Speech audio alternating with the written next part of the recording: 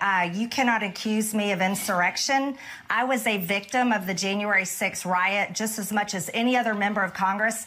That was the third day I had on the job. I had nothing to do with what happened there that day, and I will not have you accuse me of that. That is wrong of you to do. You're lying about me, and you will not defame my character in that manner. Did Joe Biden win the election, Congresswoman Greene? Joe Biden is the president of the United States. Understand that that's how they avoid it. They say he is the president, but they won't say he won.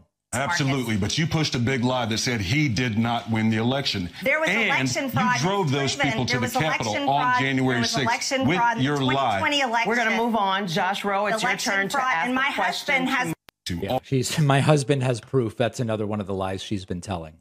Um, Marcus Flowers is really good, and sadly, I don't think he stands a chance from the little polling I've seen.